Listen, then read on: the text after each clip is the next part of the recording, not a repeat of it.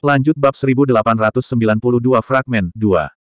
Sebuah fragmen mimpi baru memasuki kesadarannya. Dalam mimpi ini, Yun Che, masih seorang anak berusia 10 tahun, duduk di sebelah Xiao Lingqi dan mendengarkan Xiao Lai menggambarkan kisah yang sudah dikenalnya dengan nada hangat. Saat itu, tidak lama setelah CR lahir, putri gubernur situ lahir. Namun, karena penyakit istri gubernur, ketika anak itu lahir, dia sangat lemah dan diambang kematian. Jika hidupnya ingin diselamatkan, mereka membutuhkan seseorang yang setidaknya berada di alam mendalam roh bahkan untuk memiliki kesempatan. Seseorang dapat menghitung jumlah orang yang telah mencapai alam mendalam roh di Floating Cloud City dengan jari mereka, dan setiap orang ini memiliki status yang luar biasa. Untuk menyelamatkannya, mereka pasti akan merusak yayasan mereka sendiri. Akibatnya, hampir setiap dari mereka tidak tergerak meskipun sudah memohon dengan putus asa dari gubernur. Petik 2. Satu-satunya pengecualian adalah Yinger. Dia mempertaruhkan bahaya serius pada dirinya sendiri dan hampir menghabiskan semua kekuatannya untuk menstabilkan vitalitas anak itu. Hasilnya, dia bisa bertahan hidup. CR, begitulah pernikahan yang ditakdirkan antara kamu dan putri gubernur terjadi. Pada saat itu, gubernur situ sangat berterima kasih kepada Yinger karena telah menyelamatkan nyawa putrinya sehingga ia menjadi saudara angkat dengan Yinger saat itu juga. Selanjutnya, dia mengumumkan di depan semua orang bahwa putrinya akan menikah dengan putra Xiao Ying di masa depan untuk membalas kebaikan surga. Huff. Xiao Lingqi mengangkat hidungnya ke atas saat dia berkata dengan suara yang sangat lembut, aku sama sekali tidak menyukai situ suan itu. Dia selalu menyendiri, dan dia bahkan seperti itu ketika dia melihat Little Che. Itu adalah mimpi lain yang dia alami sebelumnya. Pemandangan, kata-kata, semuanya persis sama seperti terakhir kali. Satu-satunya perbedaan adalah bahwa dia benar-benar sadar kali ini. Dalam mimpi ini, orang yang Xiao Ying korbankan untuk diselamatkan adalah Situ Xuan, bukan Xia King Yue. Akibatnya, calon pengantinnya berkat kepahlawanan Xiao Ying juga menjadi Situ Xuan, bukan Xia King Yue. Fragmen mimpi lain memasuki kesadarannya. Kali ini, itu adalah sosok seorang gadis. Berdiri di sana, Xiao Che. Dia adalah wanita jangkung dan langsing yang mengenakan pakaian mewah.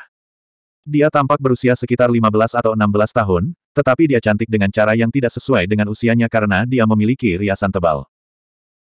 Untuk Yun Che saat ini, itu benar-benar di bawahnya untuk membiarkan seorang wanita seperti dia menahan pandangannya sesaat. Meski begitu, dia sangat menarik bagi seorang pria muda yang belum mulai memperluas wawasannya. Paling tidak, jelas bahwa mimpinya sendiri, dia masih Xiao Che saat ini, hampir tidak bisa menutupi kegugupannya. Nona situ, jawab Yun Che sopan. Ini adalah pertama kalinya Situ Suan mengambil inisiatif untuk berbicara dengannya, jadi dia hampir tidak bisa menyembunyikan kegembiraan dan kegembiraannya. Nama, Situ Suan, telah muncul beberapa kali dalam mimpinya. Dalam ingatannya yang sebenarnya, Situ Suan adalah putri gubernur Situ dan telah tinggal di Floating Cloud City seperti dia. Secara alami, dia pernah bertemu dengannya sebelumnya. Tapi untuk beberapa alasan, ingatannya tentang dia begitu kabur sehingga dia bahkan tidak bisa mengingat penampilannya. Dia tidak mengindahkannya pada saat itu karena dia sibuk bertahan hidup di alam dewa ketika dia pertama kali mulai memiliki mimpi ini. Mengapa dia peduli dengan putri gubernur yang bahkan tidak dia kenal ketika dia masih di kota kelahirannya?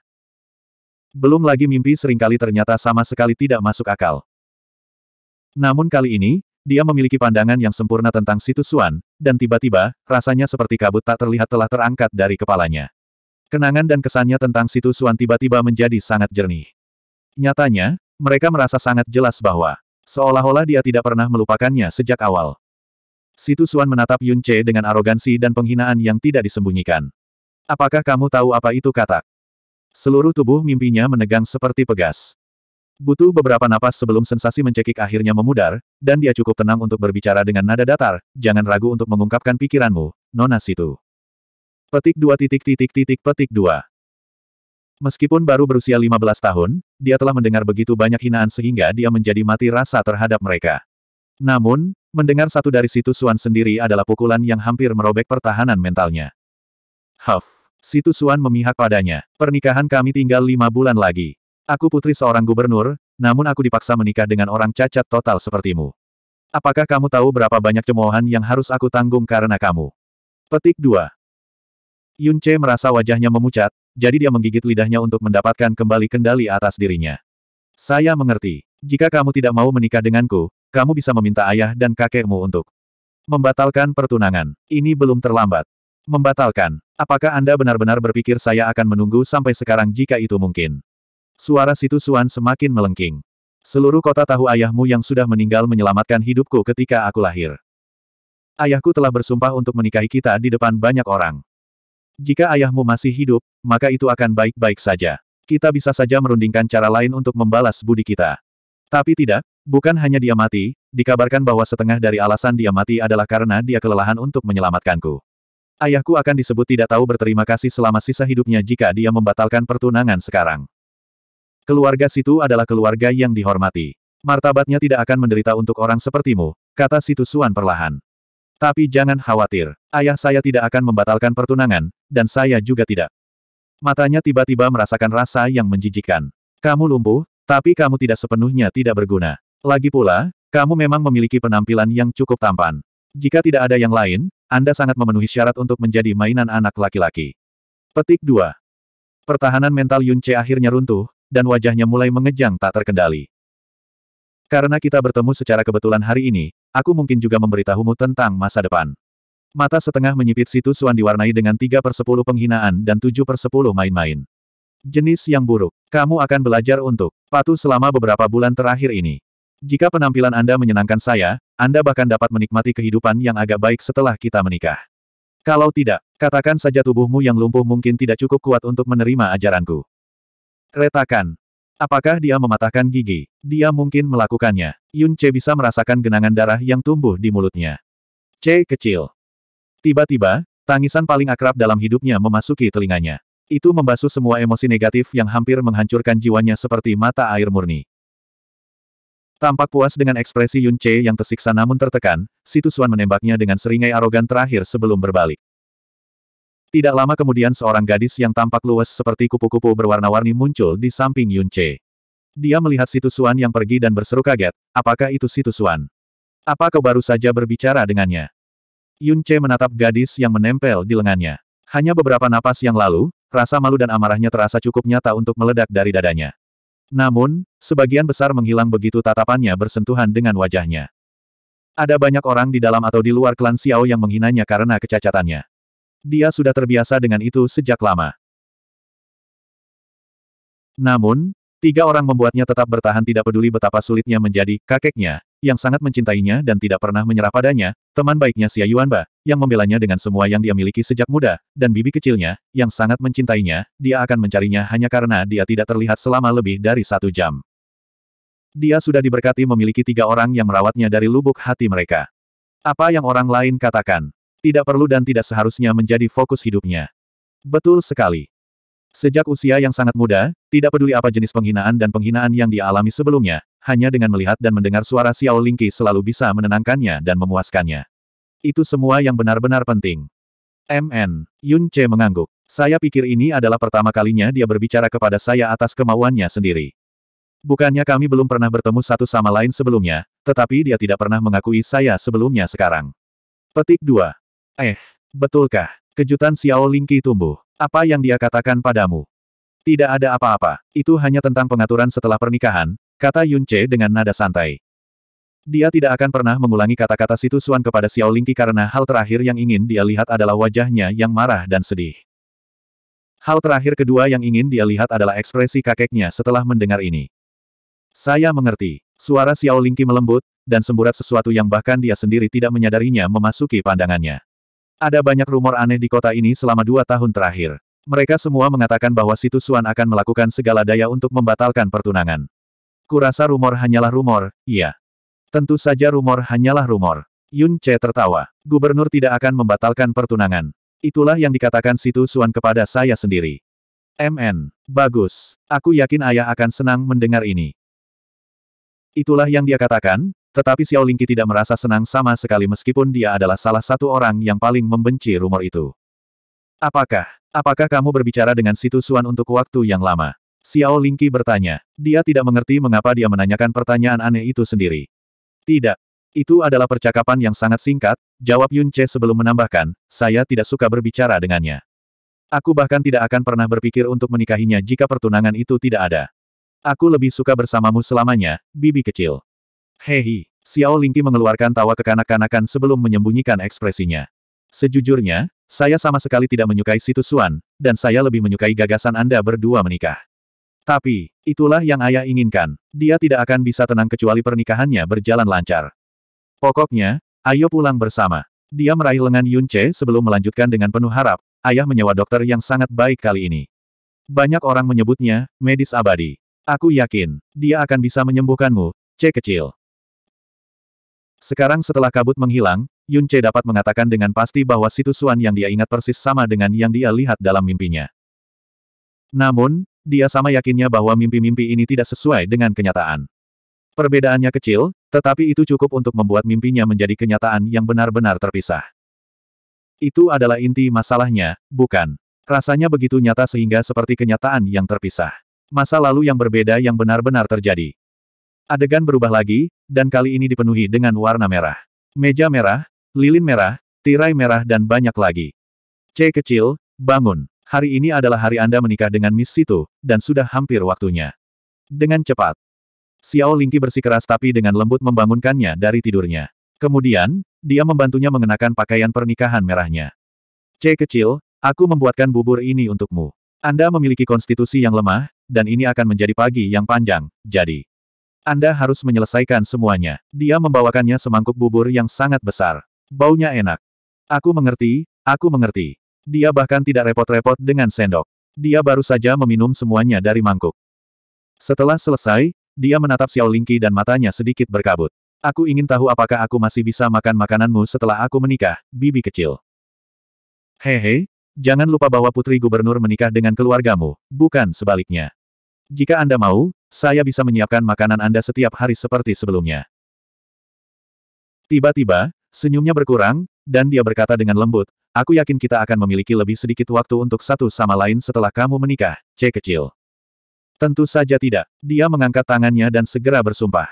Bukankah aku berjanji padamu kemarin bahwa aku tidak akan pernah melupakanmu bahkan setelah aku menikahi Situsuan? Kita akan menghabiskan banyak waktu bersama seperti dulu, dan aku akan selalu ada kapan pun kamu memanggilku. Dia tidak akan pernah melupakan bagaimana penampilan Situ Suan ketika dia mengucapkan kata-kata jelek itu padanya. Hanya ada dua alasan dia menjalani pernikahan ini. Satu, dia ingin memenuhi keinginan kakeknya. Kedua, dia ingin melindungi kehormatan mendiang ayahnya. Hasil dari pernikahan itu pasti jelek, tapi dia tidak lagi takut sedikit pun karena Xiao Lingqi benar. Tidak peduli apa yang terjadi di masa depan, dia akan tetap berada di klan Xiao, dan Xiao Lingqi akan tetap berada di sampingnya. Kakak laki-laki, kakak laki-laki. Itu adalah suara Xia Yuanba. Dia bergegas masuk tampak seperti seseorang telah menyalakan api di bawah pantatnya. Yuanba, Anda secara mengejutkan lebih awal hari ini. Yun Che menyambutnya dengan tersenyum. Hehe, ini hari pernikahanmu, jadi bagaimana mungkin aku tidak ada untuk membantu? Xia Yuanba tampak sangat bersemangat. Dalam adegan itu, Xia Yuanba yang berusia 15 tahun tampak sangat tampan. Dia masih agak kurus, dan warna kulitnya tampak sedikit lebih terang dari biasanya. Ini bukan apa-apa bagi orang biasa, tapi Yun Che saat ini tahu bahwa itu bukan karena Xia Yuanba tidak keluar rumah akhir-akhir ini. Semacam kemilau metalik yang dingin melayang tepat di atas kulitnya, dan itulah yang membuatnya tampak lebih putih. Dia juga menyadari bahwa cahaya di pupil mata Xia Yuanba telah tumbuh lebih tertekan. Tetapi sebagai hasilnya, menjadi lebih menusuk dari sebelumnya. Jadi Er, gimana rasanya menikah? Mengapa saya merasa Anda tidak terlalu bersemangat? Xia Yuanba bertanya. Jujur saja, saya tidak bersemangat. Aku hampir tidak peduli sama sekali tentang pernikahan itu. Yun Che kemudian menatap Xia Yuanba sejenak sebelum berkata, sebaliknya, kamu sangat bersemangat mengingat waktu hari ini. Bukan hanya karena pernikahanku, kan? Hehe, mata Xia Yuanba bersinar terang. Aku punya kabar baik untuk dibagikan. Sehari sebelum kemarin, ayahku mengundang temannya, seorang guru dari New Moon Profound Palace, ke rumahnya. Dia berharap untuk meminta bantuan dan menurunkanku ke istana mendalam bulan baru. Tetapi setelah temannya melihat saya, dia berkata bahwa seseorang dengan bakat saya harus bergabung dengan istana mendalam Blue Wind secara langsung. Oh, itu luar biasa. Itu adalah sesuatu yang harus dirayakan oleh seluruh Floating Cloud City. Yun Che mengucapkan selamat dan merasa senang untuk Xia Yuanba dari lubuk hatinya. Namun, dia tidak bisa tidak merasa sangat iri pada temannya dan juga sedih atas nasibnya sendiri. Bagi Yun Che yang asli, dia tahu dengan mimpi itu bakat Xia Yuanba akan mengejutkan bahkan Raja Alam dari Alam Dewa, apalagi seperti Istana Mendalam Blue Wind. Untuk memimpikannya Yun Che, bahkan Istana Mendalam Blue Wind adalah mimpi yang mustahil untuk dipahami.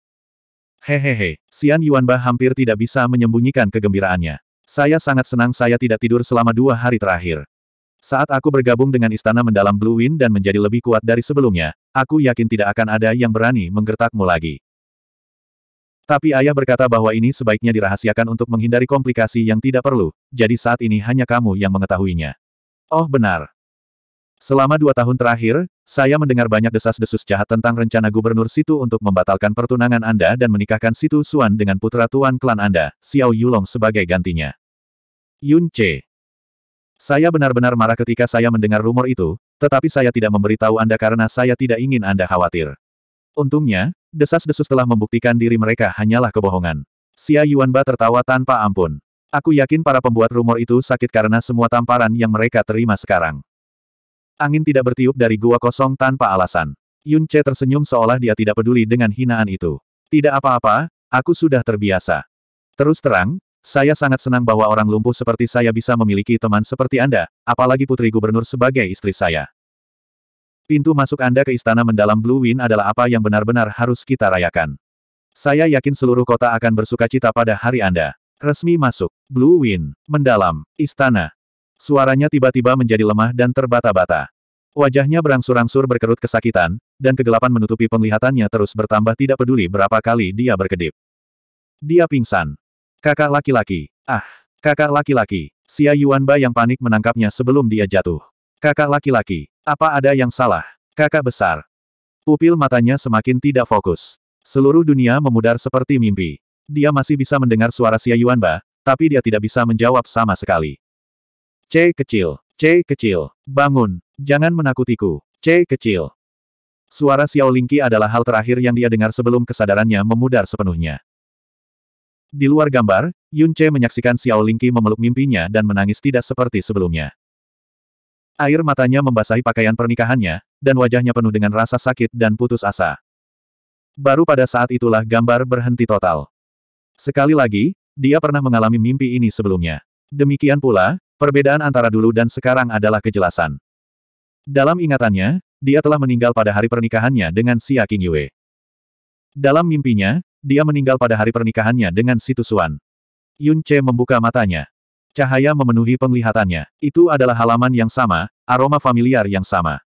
Namun kali ini, mimpi itu tidak lagi kabur. Kali ini, dia mengingat setiap gambar, setiap wajah dan setiap suara sejernih kristal. NB, yang menyukai lanjutan cerita ATG ini silahkan berkunjung ke channel STORIAN Gallery. Bab 1896 ke atas akan digarap Diana, selamat menikmati. Bab 1893, Somnilokui. Ah! Tangisan manis terdengar di sampingnya. Kamu sudah bangun, suami. Yun Che mendongak. Wajah Sulinger hanya beberapa inci dari wajahnya, dan Chaizi serta Little Demon Empress berada tepat di sampingnya. Mereka jelas telah mengawasinya untuk waktu yang sangat lama. Dia sebenarnya tidak yakin apakah dia sudah bangun dari tidurnya. Mimpinya begitu realistis, dan dia tidak pernah mengingatnya sejelas sekarang. Apa yang terjadi? Tanya Chaizi. Mengapa kamu menyegel indramu untuk waktu yang lama? Tidak apa, ini adalah kondisi pencerahan khusus, jawab Yun Che sambil mengembalikan pandangannya ke halaman. Masih sedikit kesal, dia bertanya, jadi, berapa lama aku keluar kali ini? Tujuh hari, jawab Sulinger. Setidaknya itu tidak setengah bulan seperti terakhir kali. Namun, sebelum dia bisa santai, Sulinger menjatuhkan bom lagi. Suamiku, kamu perlu memeriksa saudari Lingki sekarang. Lingki, nada paniknya menyentaknya seperti kilat. Dia bangkit dan bertanya, apa yang terjadi padanya? Dia pingsan saat kau menyegel indramu sendiri. Saya tidak dapat membangunkannya tidak peduli apa yang saya coba, dan... Dia masih belum bangun. Yun Che sudah pergi sebelum Su Linger menyelesaikan kalimatnya. Xiao Lingqi sedang berbaring dengan tenang di tempat tidurnya dan bernapas dengan rata. Wajahnya tampak pucat, tapi untungnya tidak begitu sakit sehingga menimbulkan kekhawatiran. Namun, alisnya dirajut menjadi kerutan kecil tapi permanen. Seolah-olah ada tali tak kasat mata yang menarik-narik pikirannya dan menjauhkannya dari ketenangan sejati. Yun Che meraih pergelangan tangan kanannya dengan satu tangan dan menepuk ulu hati dengan tangan lainnya. Dia perlahan-lahan menyuntikkan sejumlah besar energi yang mendalam ke dalam tubuhnya dengan cara yang paling lembut yang dia bisa. Pemeriksaan yang cermat kemudian, alis Yun Che mengendur sejenak sebelum merajut lagi dengan ragu. Vitalitas dan lautan jiwa Xiao Lingqi sangat normal. Tidak ada luka dalam maupun luar yang ditemukan. Jika dia adalah orang lain, dia akan berasumsi bahwa mereka sudah berpura-pura tidak sadarkan diri. Namun, Xiao Lingqi tidak akan pernah melakukan hal seperti itu. Bagaimana dengannya? Su Linger bertanya dengan gugup. Yun Che bangkit dan menjawab, dia. Baik-baik saja, dia mungkin akan segera bangun.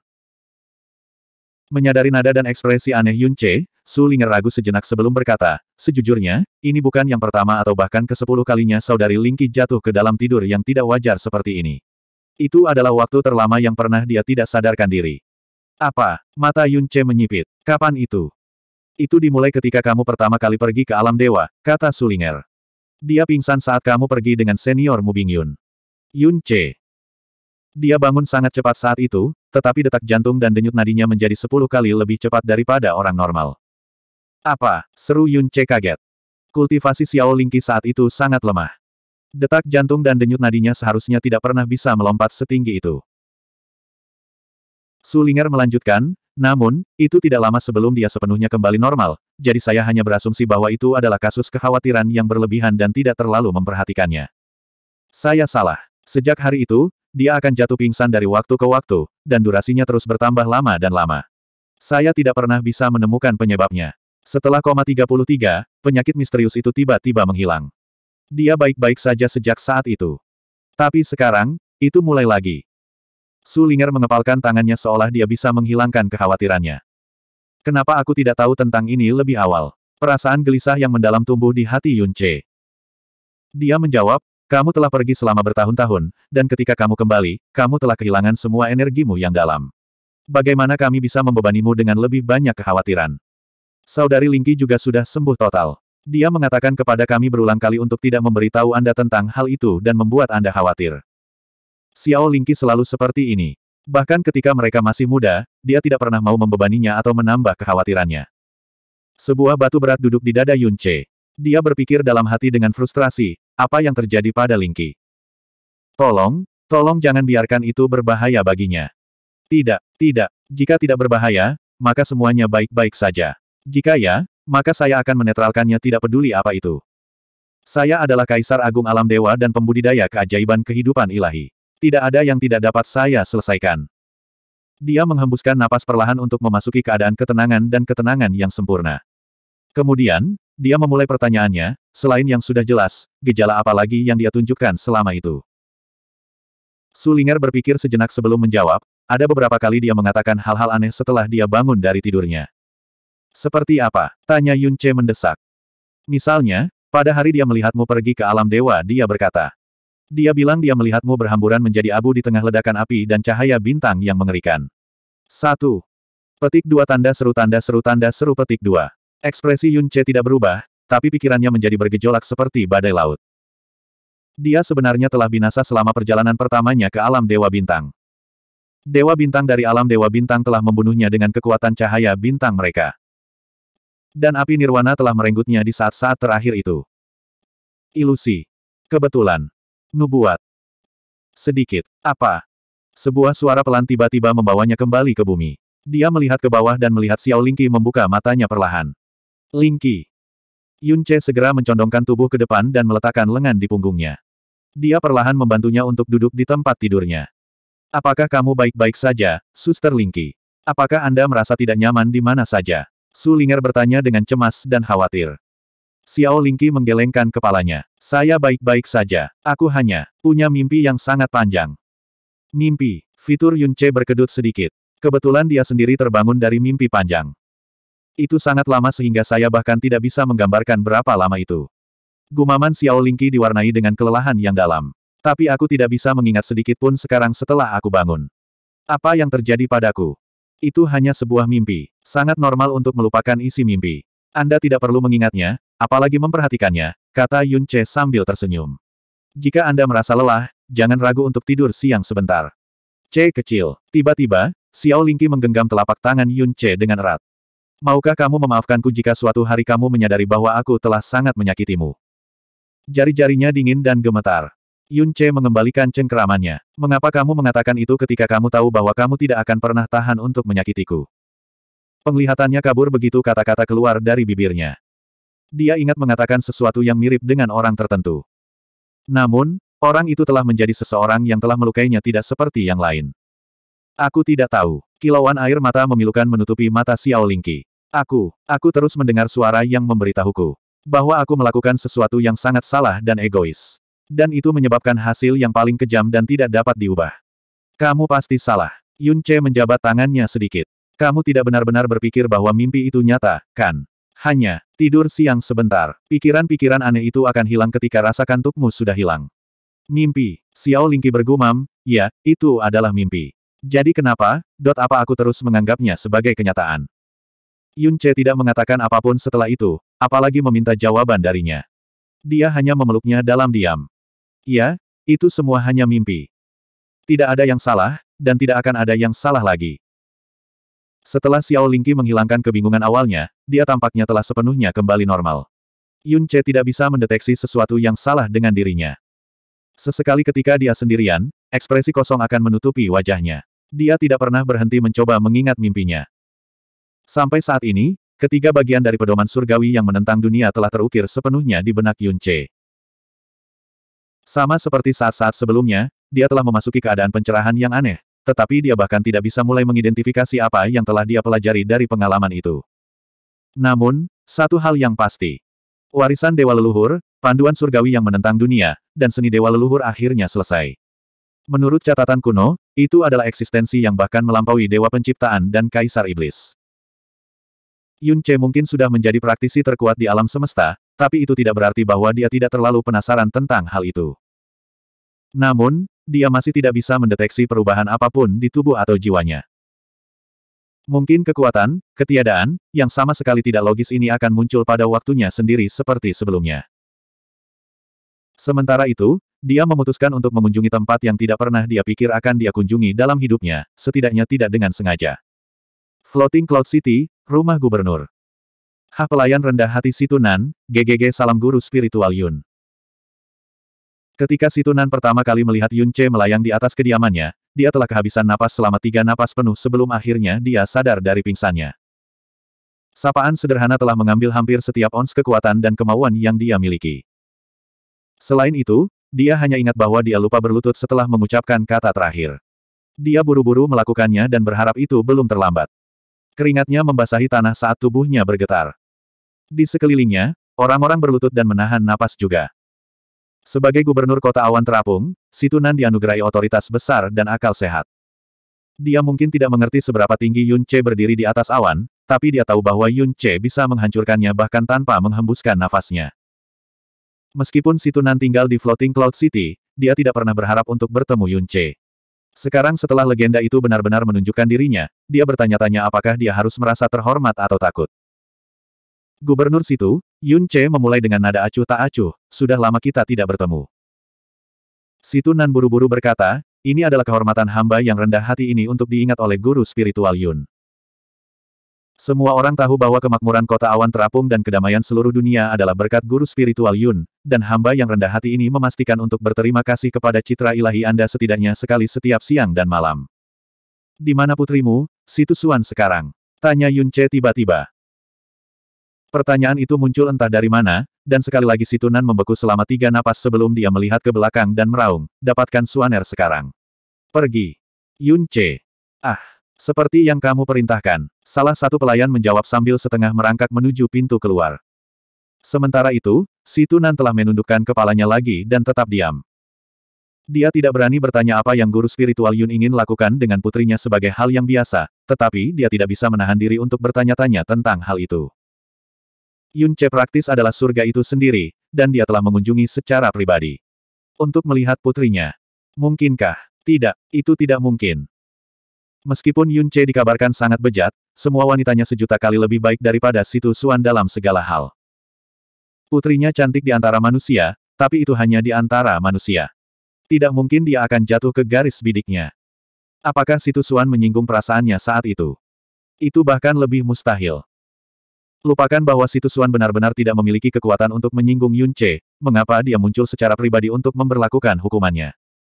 Yang perlu dia lakukan hanyalah mengucapkan satu kalimat, dan semua orang di seluruh dunia akan bergegas untuk melakukan perbuatan itu sendiri. Tidak lama kemudian pelayan itu kembali. Mengikuti tepat di sampingnya adalah seorang wanita yang tampak rapuh dan seorang pelayan yang mendukungnya.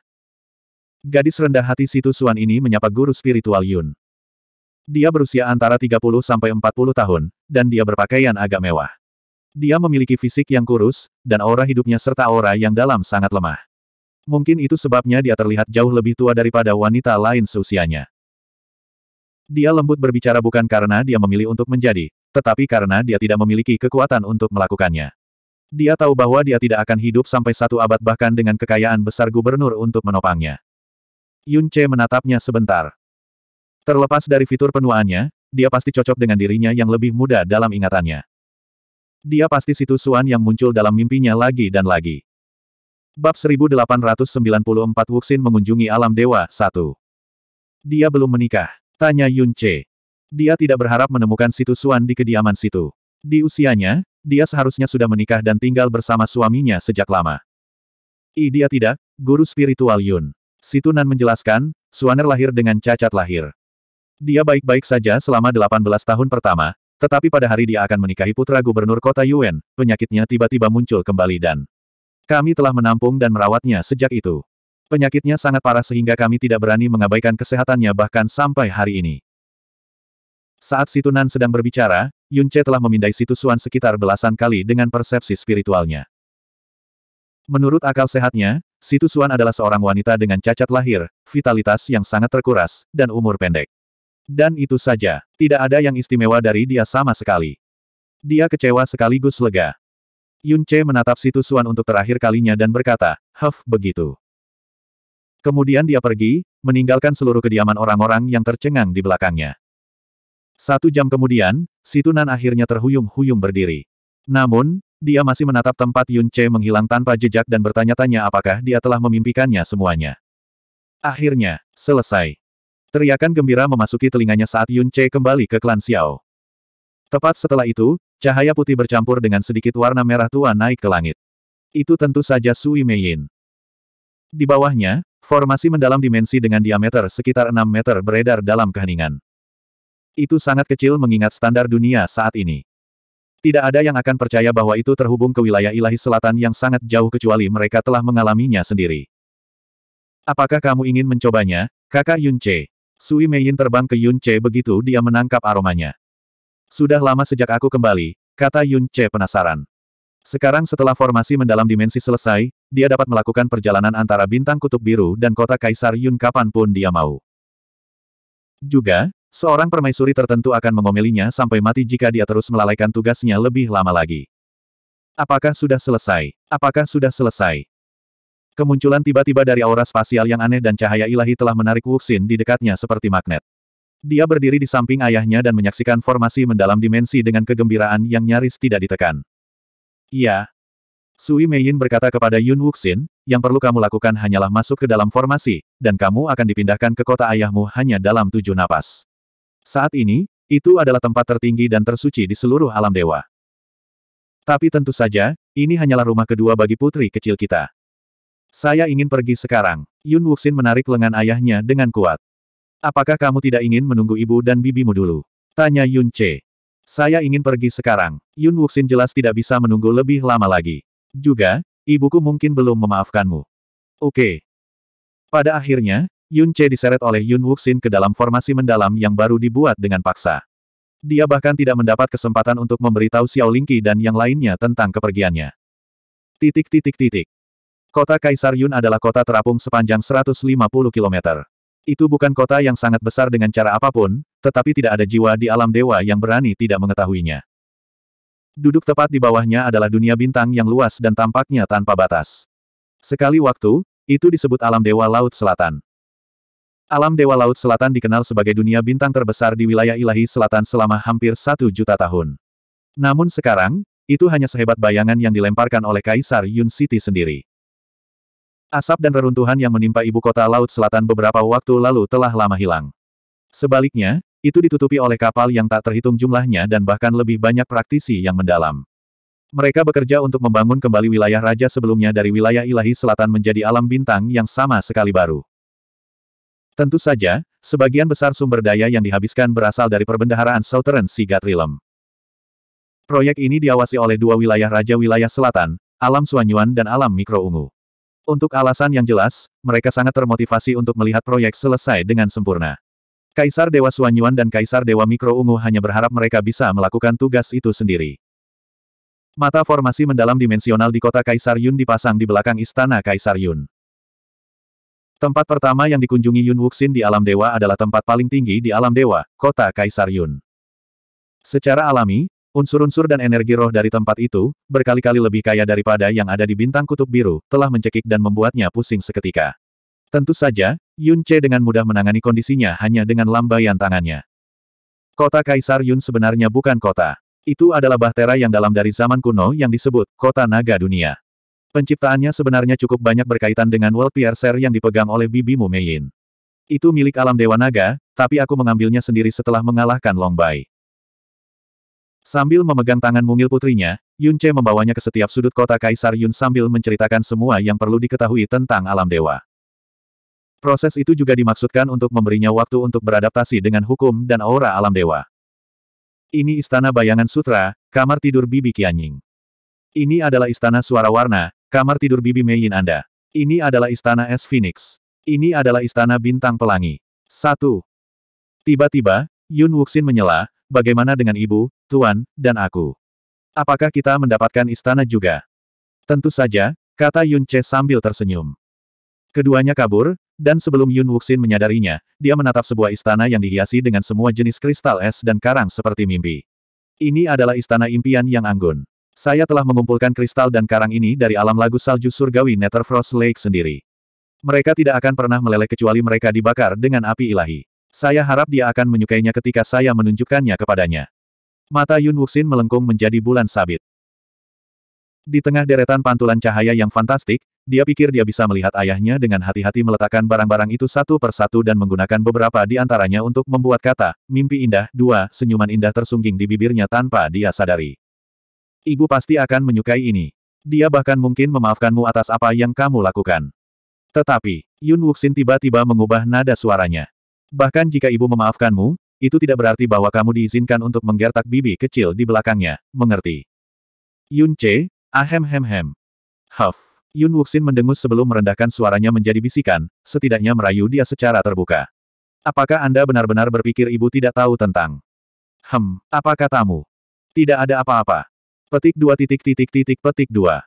Kamu melihatnya. Yun Che menunjuk gambar burung phoenix di langit. Langit itu sendiri diwarnai merah oleh pancarannya. Di situlah istana tuanmu, istana salju phoenix. Istanamu berada di antara Graceful Dream Palace dan Phoenix Snow Palace. Yun Wuxin melihat dan membisikkan nama itu, Eternal Heart Palace. Tiga kata yang terukir memenuhi dirinya dengan kehangatan dan kekuatan yang tak terbatas. Dia segera tahu bahwa ayahnya telah mengukirnya dengan jarinya sendiri. Kenapa kau menyebutnya begitu? Yun Wuxin bertanya kepada ayahnya dengan penuh harap. Yun Che tersenyum dan memindahkan tangan putrinya ke dadanya. Kemudian, dia menatap matanya dan mulai, saya tidak pernah menjadi ayah yang baik, Wuxin. Aku merindukanmu selama bertahun-tahun, mengkhawatirkanmu, dan melanggar janjiku padamu lagi dan lagi. Anda bahkan harus mengorbankan bakat terbesar Anda untuk saya. Petik 2. Ada banyak hal yang tidak bisa saya perbaiki atau tebus bahkan setelah saya menjadi orang terkuat di alam semesta, tapi tidak peduli apa yang terjadi di masa depan, tidak peduli kapan atau di mana, tidak peduli seberapa tinggi saya naik atau berapa lama.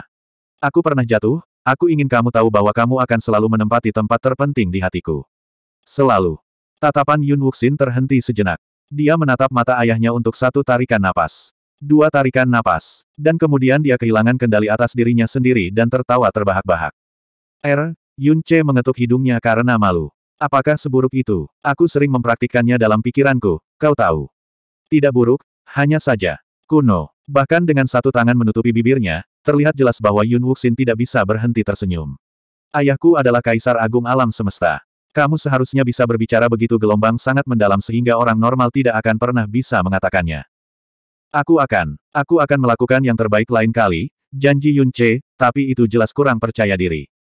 Tidak apa-apa.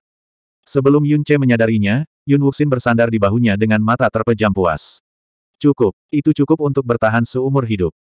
Ya ampun, sepertinya aku muncul di waktu yang tidak tepat. Saya tidak bermaksud mengganggu waktu putri ayah Anda yang berharga. Pembicaranya tidak lain adalah Chi Wuyao. Dia diikuti oleh Ji Esin dan Ji Eling. Pada catatan terkait, kesejukan di mata Ji Esin dan Ji Eling telah mencair segera setelah mereka melihat Yun Che. Mereka melanjutkan untuk menundukkan kepala mereka sehingga mereka tidak akan bisa menatap matanya. Pada malam Yun Che dinobatkan sebagai Kaisar Agung Alam Dewa, dia tidur dengan sembilan penyihir. Ini adalah pertama kalinya Jiesin dan Jieling bertemu dengannya sejak hari itu. Secara alami, mereka merasa malu dan malu di hadapannya. Bibi Uyao, Yun Wuxin menyapa dan memberi hormat kepada Ci Uyao dengan sopan. Dia sangat menghormati permaisuri karena dia, dari semua wanita yang dirayu ayahnya, dengan mudah adalah yang memiliki hak terbesar untuk posisi istri pertama, dan orang yang paling diandalkan ayahnya. Ci Uyao tersenyum dan mengangguk sebagai balasan sebelum menghadap ke arah Yun Che. Kaisarku, Apakah kamu sadar bahwa kotamu hampir melupakan nama tuannya sendiri? Yun Che menjawab dengan wajah datar, kamu tidak membutuhkanku untuk menjalankan bisnismu. Nyatanya, kehadiranku bisa membuat pekerjaanmu lebih berat dari yang seharusnya. Ci Yao memutar matanya ke arahnya sebelum mengeluh kepada Yun Wuxin, kamu lihat itu, Wuxin. Di masa depan, pastikan untuk tidak memilih pria yang tidak tahu malu dan tidak bertanggung jawab seperti ayahmu untuk menjadi suamimu. Petik 2. Yun Wuxin terkikik mendengarnya. Dia mungkin masih muda dan belum berpengalaman, tapi dia bisa merasakan emosi yang mendalam di balik setiap keluhan Ci Yao. Itu adalah cinta yang begitu dalam sehingga bahkan orang luar pun bisa tergerak olehnya. Tidak heran ayahnya adalah pria yang paling membuat iri di seluruh alam semesta. Kebetulan Chang Sitian muncul hari ini untuk melaporkan tentang pemberontakan terbaru dan hal-hal mengenai Biro Penegak. Saya kira sudah waktunya saya berhenti melangkahi otoritas saya dan meninggalkan pekerjaan di tangan Anda yang sah.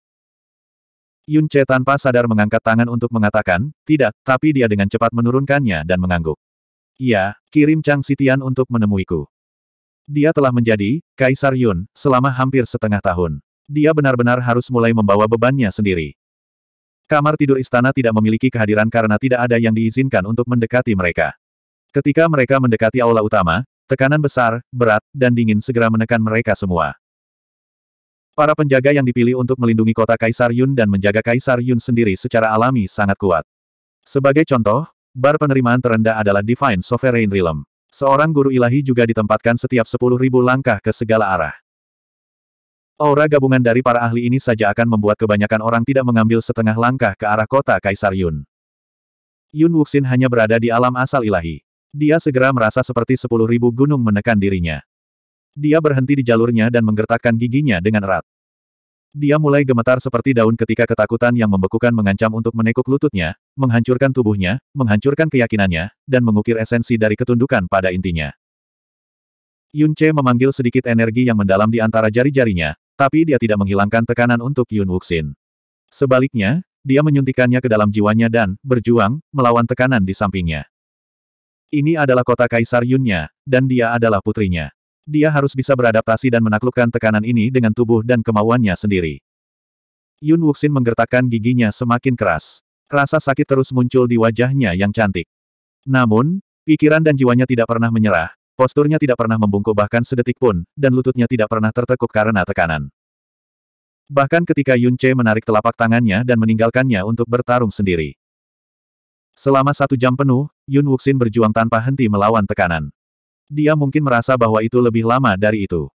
Dia berhasil. Di akhir perjuangannya, tubuhnya berhenti menggigil sepenuhnya, dan dia membuka matanya untuk mengungkapkan lebih banyak tekad daripada rasa takut. Aku baik-baik saja sekarang, ayah. Seperti yang diharapkan dari putri kecil kita, Ci Uyao memuji dari lubuk hatinya.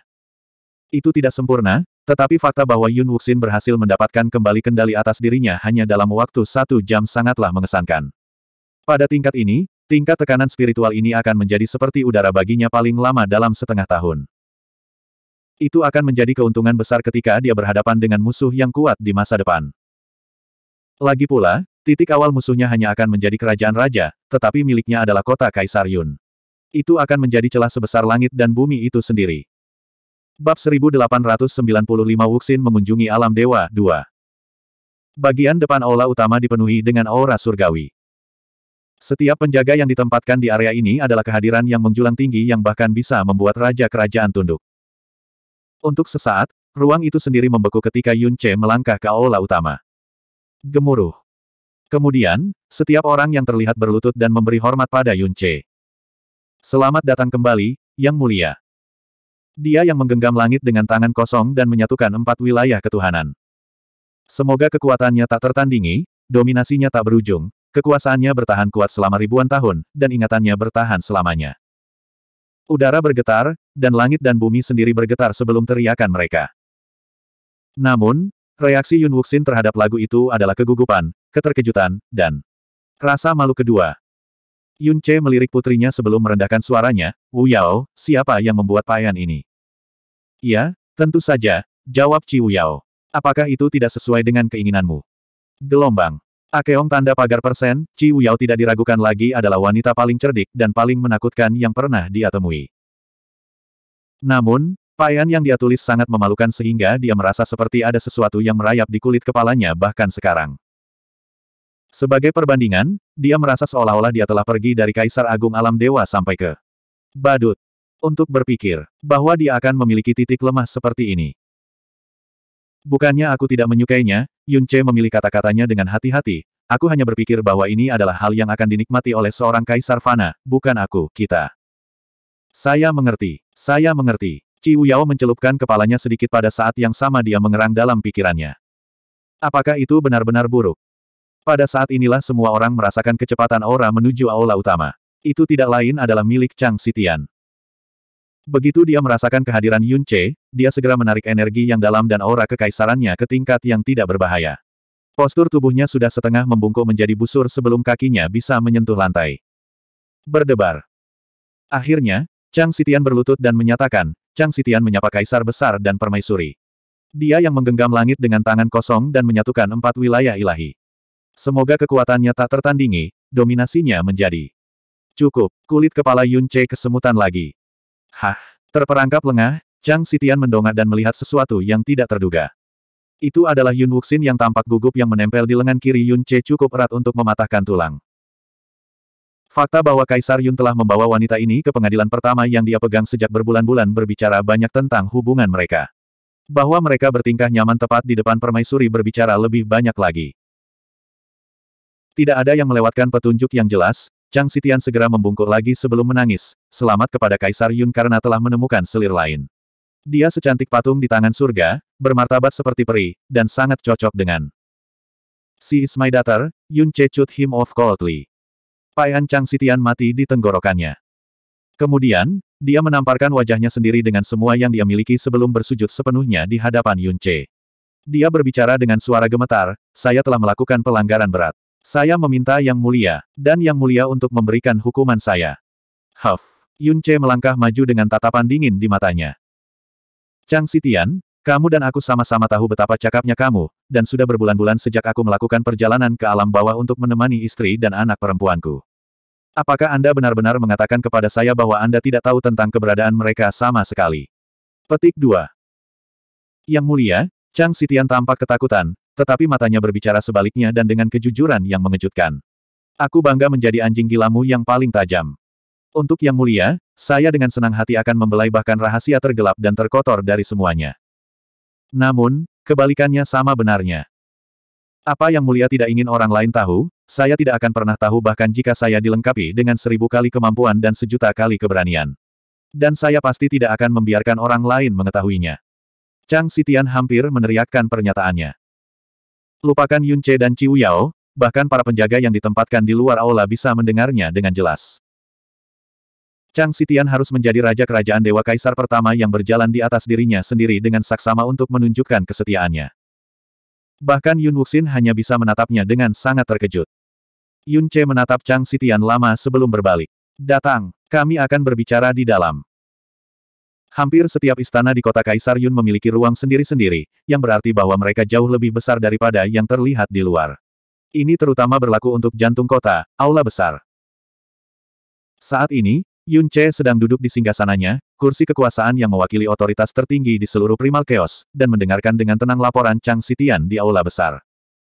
Sama seperti Ci Yao telah memberitahunya sebelumnya, Chang Sitian berbicara sebagian besar tentang kejadian penting baru-baru ini dari tiga wilayah ilahi dan kemajuan Biro Penegak.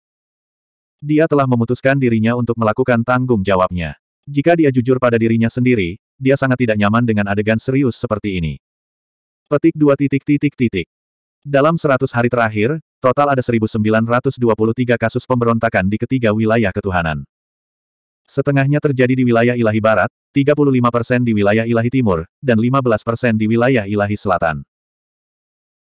Jika saya mengkategorikan mereka berdasarkan skala, 1921 di antaranya adalah pemberontakan skala kecil, dan hanya dua yang merupakan pemberontakan skala besar. Mereka semua dipadamkan dalam waktu enam hari. Dalam urutan menurun, pemberontak terkuat adalah satu Divine Sovereign, 13 Divine King, 101 Divine Spirit, dan sisanya berada di bawah Divine Spirit Realm. Jumlahnya jauh lebih kecil dari yang diperkirakan Yun Che, tetapi pada akhirnya tidak mengejutkan. Tidak ada transisi yang mulus sempurna ke rezim baru, apalagi era. Selain itu, prasangka tiga wilayah ilahi terhadap kegelapan secara umum telah dipupuk selama satu juta tahun. Itu wajar bahwa seseorang akan tetap teguh pada keyakinan mereka dan berjuang sampai akhir yang pahit. Namun, kekuatan terkuat di alam semesta telah tunduk pada aturan Yunce. Pemberontakan ini bisa menjadi seribu kali lebih besar, dan mereka masih tidak dapat mengancamnya sedikitpun. Selain itu, semakin kuat seorang praktisi yang mendalam, dan semakin tinggi mereka berdiri di dunia, semakin mereka akan menyadari betapa bodohnya mencoba menentang momentum Yunce. Itulah mengapa praktisi terkuat yang berpartisipasi dalam pemberontakan 100 hari terakhir hanya satu penguasa ilahi dan 13 raja ilahi. Bagaimana kamu berencana untuk berurusan dengan orang-orang ini? Tanya Yunce. Chang Sitian menjawab, saya berencana untuk mematuhi kebijaksanaan permaisuri. Dia telah memerintahkan agar saya memusnahkan 90% pelaku dan tiga keluarga mereka, melumpuhkan 10% sisanya, dan mengampuni antara 10 hingga 100 dari mereka. Dia kemudian menambahkan, selain itu, kami juga telah mengambil kendali atas klan dan sekte yang tidak termasuk dalam tiga keluarga yang akan dimusnahkan, tetapi masih terkait dengan mereka. Hal yang sama bagi mereka yang lumpuh atau diampuni. Kami benar-benar yakin bahwa tidak ada satu orang pun yang luput dari perhatian kami. Pada catatan itu, Apakah ada perubahan yang Anda ingin saya lakukan, Yang Mulia? Tidak apa-apa, jawab Yun Che, kamu hanya bisa menuruti kebijaksanaan permaisuri. Di samping Yun Che, Yun Wuxin mau tidak mau menjulurkan lidahnya secara diam-diam. Dia semakin memahami seberapa besar tanggung jawab yang diemban oleh Bibi Wu Yao-nya. Gelarnya mungkin permaisuri, tetapi dia menjalankan semua tanggung jawab Kaisar Agung. Saya tidak terkejut bahwa sebagian besar pemberontakan telah terjadi di wilayah ilahi barat. Namun, saya terkejut bahwa pemberontakan di wilayah ilahi selatan bahkan tidak melebihi 20%. Yun Che mengerutkan alisnya menjadi kerutan yang tidak menyenangkan. Apakah kamu yakin angkanya benar? Chang Sitian segera menjawab dan tanpa ragu, yang mulia bijaksana. Saya mungkin asli wilayah ilahi selatan, tapi saya bangga bisa melayani yang mulia. Saya tidak akan pernah berani mengaburkan kebenaran atas nama wilayah ilahi selatan. Yang mulia, wilayah ilahi timur adalah salah satu yang paling menderita kehilangan nyawa selama penggulingan perintah sebelumnya. Oleh karena itu, sebagian kecil dari pemberontak wilayah timur termotivasi oleh keinginan mereka untuk membalas dendam atas sekte atau keluarga mereka. Namun, saat Suhe, maafkan aku, kembali ketika Permaisuri Grace masih belum menikah, dia sudah tahu semua yang perlu diketahui tentang wilayah ilahi selatan. Hari ini, semua informasi yang dia kumpulkan telah dijalin menjadi jaring besar yang membentang di setiap dunia bintang di wilayah ilahi selatan. Petik 2. Akibatnya, sebagian besar pemberontakan dihancurkan sebelum sempat terbentuk. Itulah mengapa ada sedikit atau tidak ada pemberontakan untuk dibicarakan di wilayah ilahi selatan. Petik 2. Hem. Yun Che bertanya, Chang Suhe mampu bahkan ketika dia tidak dapat mengambil langkah di luar tempat tinggalnya. Chang Sitian sedikit menundukkan kepalanya. Permaisuri Grace bermaksud memberi sitian jaring yang dia buat selama ribuan tahun. Sekarang, itu telah digunakan untuk Yang Mulia. Jika, jika Anda punya waktu, saya dengan rendah hati meminta Yang Mulia untuk lebih mengenal Permaisuri Grace. Saya berjanji bahwa dia tidak akan mempermalukan gelar yang telah Anda berikan padanya. Apakah ada yang lain? Tanya Yun Che. Tidak, Yang Mulia, laporanku sudah selesai. Yun Che bangkit dan menyatakan, jika tidak ada yang lain, maka kamu boleh pergi. Seperti yang Anda perintahkan. Setelah Chang Sitian pergi, Chi Yao akhirnya memecah kebisuannya dan berkata, dia anjing yang sempurna. Akan sangat menyedihkan jika suatu hari dia tiba-tiba menghilang. Aku sudah mendapatkannya, jawab Yun Che tanpa daya, aku akan menemukan waktu untuk mengunjungi Deep Realm. Itu yang terbaik. Chi Yao berjalan ke arah Yun Che sebelum melanjutkan, ngomong-ngomong, ada sesuatu yang ingin aku bicarakan denganmu. Berikan saja padaku langsung. Mengenalnya, Semakin formal dia bertindak, semakin tidak serius masalah yang ingin dia diskusikan. Bibir Chi Yao melengkung setengah tersenyum saat dia mulai, Kaisar Yun Kota diberkati dengan kekuatan suci dan istana yang tak terhitung jumlahnya, tetapi sebagian besar dari mereka kosong dan tidak terpakai. Tidakkah menurutmu itu terlihat agak sepi? Pembangunan alam Dewa Kaisar Yun, yang dulunya adalah alam Dewa Laut Selatan, berjalan lancar.